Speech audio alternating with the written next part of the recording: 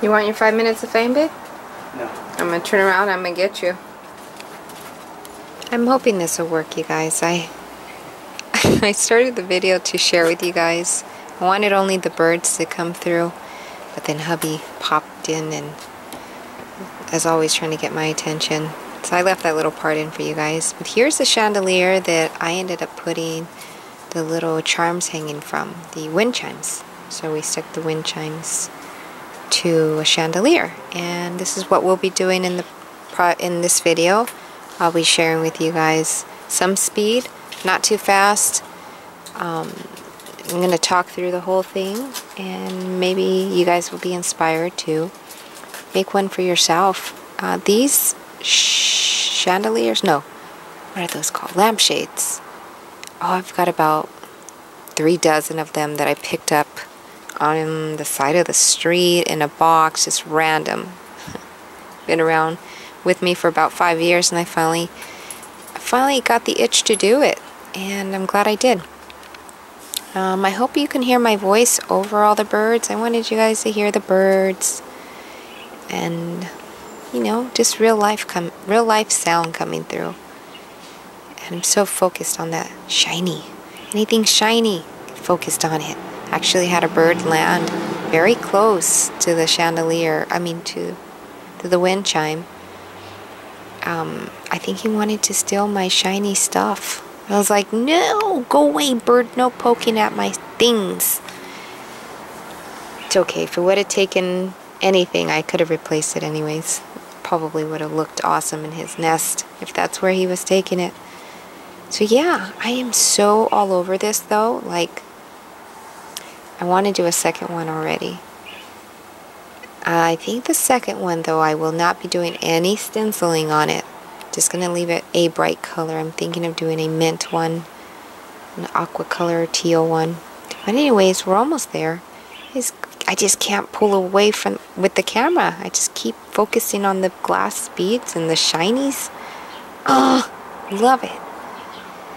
Okay, I hope this voiceover is doing quite well or okay. You noticed in my last one there was static and movement and all that stuff. We'll see. So I tried to spray with the bottle, but most of my bottles, the spray stuck because of my neglect of not cleaning them out the way I was supposed to every time after I'm done using it. So I wanted to leave that part in and show you guys that it's okay. Just pour it into a bottle and use a paintbrush. It works the same. You might be using a little extra, but actually it's way vibrant and it did spread quite well. I think I should have gessoed it and it would have worked even better, but we didn't gesso. It bled. Of course it bled because it's a canvas material on the lamp. But that's fine, it's perfectly fine. I thought I was going to leave it yellow and then I got brave and started trying to use the stencils. You'll see that I did have a bit of a hard time with the stencils because the lampshade is rounded. But we worked through it. The first stencil actually came out quite well. I think it was the second and the third one that didn't come out quite well, but we fixed it. We work around it. It's not like it's a piece of paper and we could throw it out, but what we could have done is actually painted over it and start it all over, and that would have been perfectly fine. Um, why did I use these sprays? The reason I used the sprays instead of using an acrylic is I thought I was going to spray multiple colors on the lampshade. I decided not to do that. Um, I think I just veered into let's do more of a vintage boho, more of a classic boho. So that's what I ended up doing. And um, you would have to take your time. I just mixed up two browns to get the color that I got here, which in the end, if you stick with me, you'll see that I ended up messing with it even more. Just because I messed up quite a few times on the stencil, I had to somewhat camouflage it and make it work, and we did.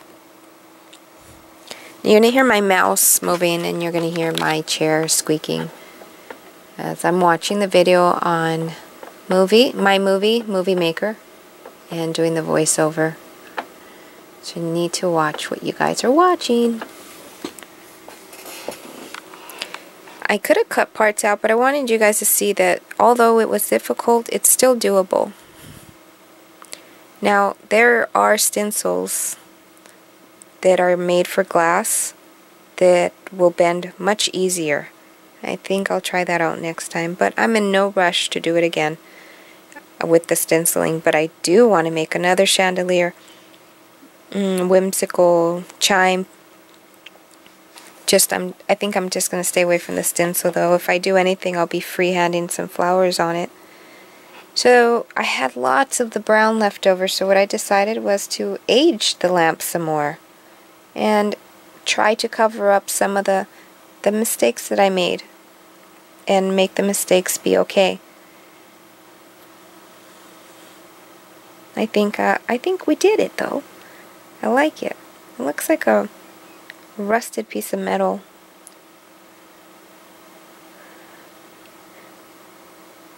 Since I have so many lampshades, I think that I, I have enough room to play and mess. And even if I didn't, or if you don't, you can paint over your mistakes or make them work out.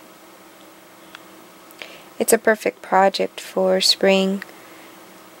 I'm not too sure where I'm going to hang it. Where you guys seen me hang it, there's already something that goes there. Uh, the lantern that you've seen on the table, that usually hangs up there. So right now there's not an exact home for the wind chime. I kind of want it indoors and then I want it outdoors, but you know what I'm deciding right now as we speak is uh, since I'm going to make more, I'll make my decision then which ones stay in and which ones go out onto uh, the garden tree, my lemon tree actually. And I decided to make it look even more rusty and added some teal blue. Random places, as always, I never have a plan. I actually could have stopped here and would have been happy, but we continued and played and played and played. That's what art's about. Just express yourself and play, right? Oh, what are you guys drinking? Are you guys having any tea? Are you guys having any sippy sippy? Something. Or are you guys just chilling? Are you creating? just wondering. And so I decided I was going to mess with the inside. Um, didn't really have to, but since I had so much leftover paint, you guys know how I feel about that. So I tried to throw the paint everywhere and anywhere. Then I decided to get a whitewash color and also an egg birch color. And throw that in also. Just random. The brush that I'm using is a really messed up brush. But it worked out. It gave it gave an effect that I like. It, it took the stencil back and brought other stuff forward.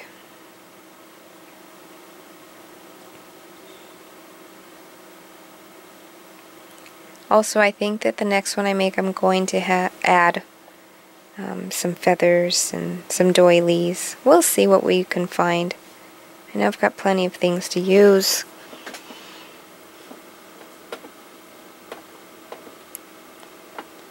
I think we went for the an eggshell blue. I think it's called robin's egg.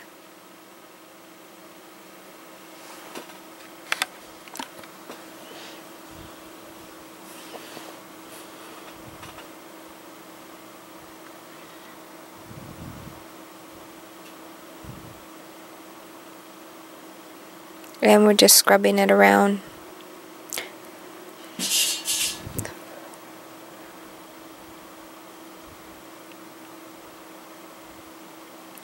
I've got some exciting videos coming soon also that I need to edit. So here I'm showing you guys um, some copper wire, any gauge will work, whatever you feel is sturdy enough for your project.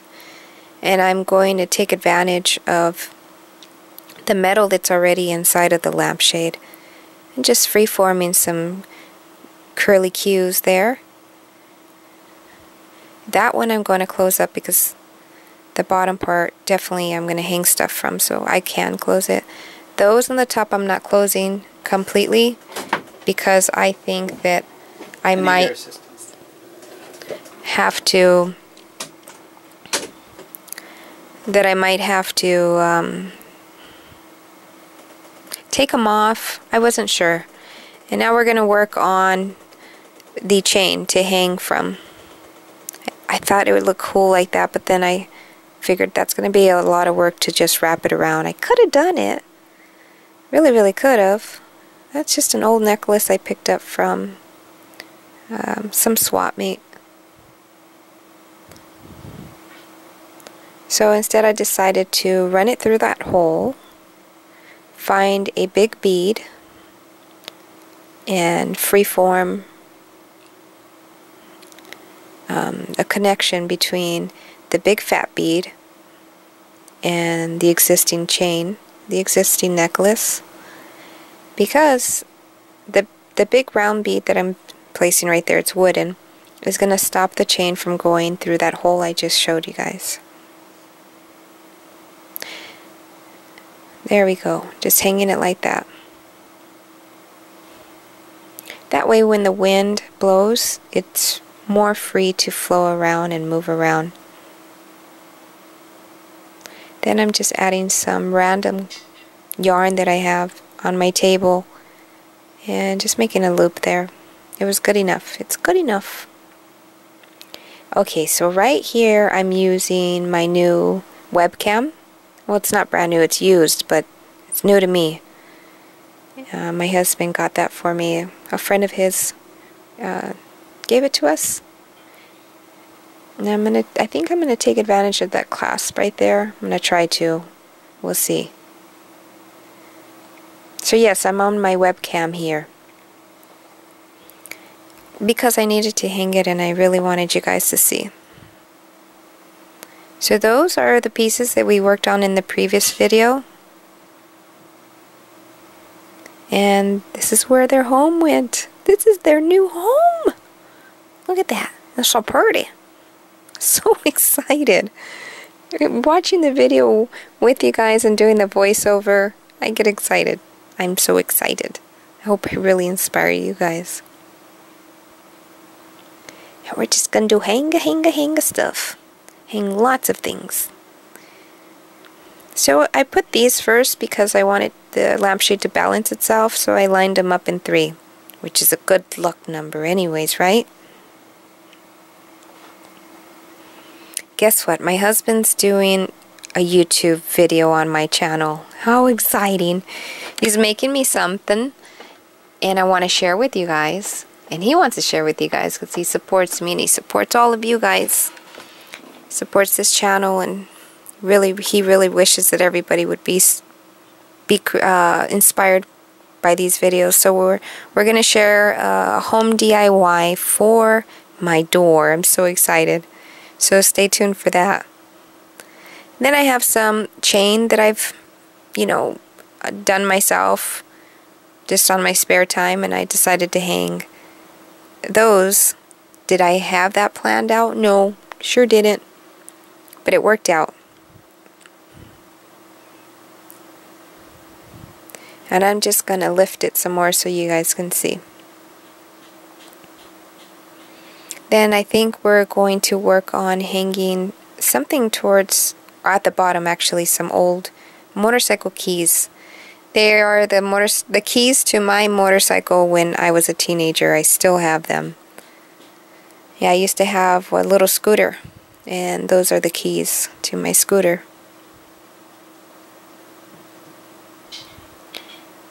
I want things to hit against each other and, and make sounds. So they weren't making enough sound, so I decided to add some bells. Then that, that still wasn't making enough sound. So once I add the bell to the other side, I end up adding two more bells. So altogether it's four bells, two on each side.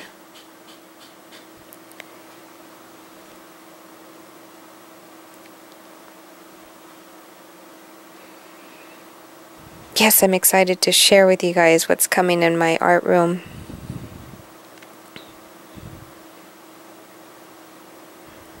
And it's handmade and it's custom to you guys will see. Just just keep keep an eye out. You guys will check, we'll see, check back here and there and see if which video is coming next. Actually, after him doing the video that's a custom piece for my art room, which is a surprise for you guys, he said he, he said he kind of liked recording, so he's going to do a second one.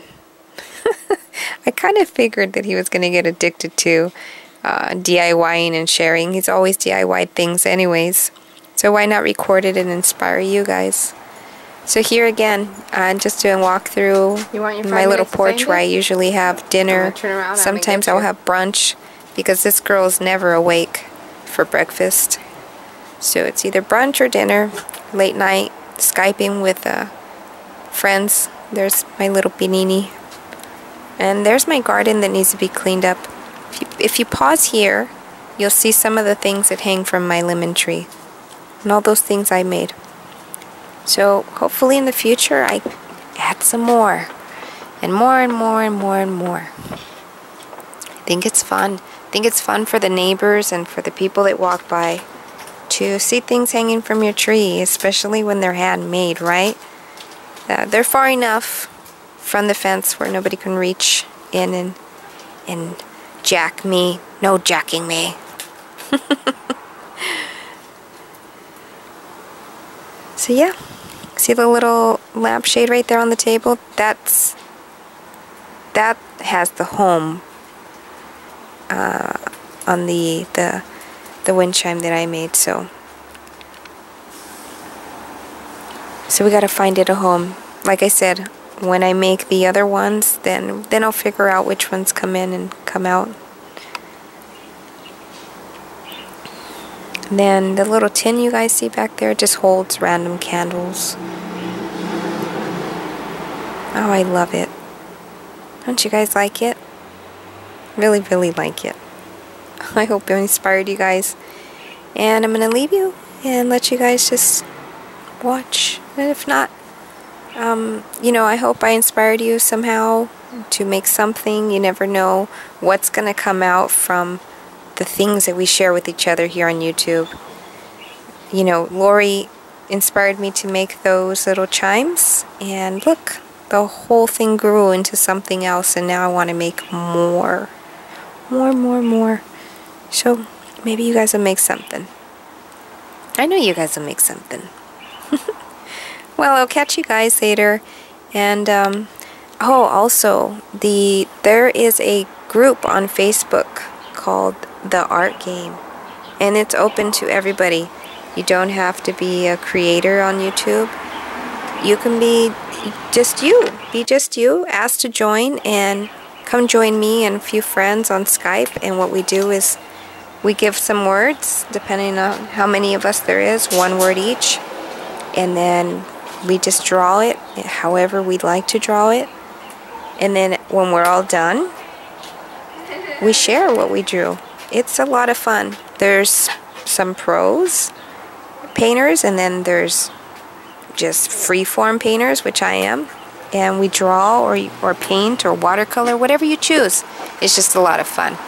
And that's on Facebook and it's called The Art Game. Come join us. You might actually be able to hang out live with me.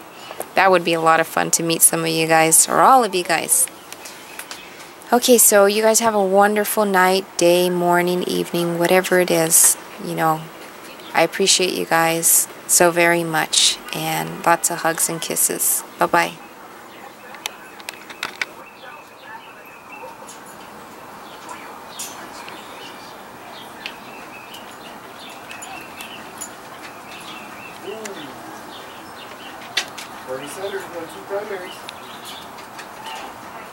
Why are you voting for him? Yep. I'm voting for Trump. Huh? I want Trump.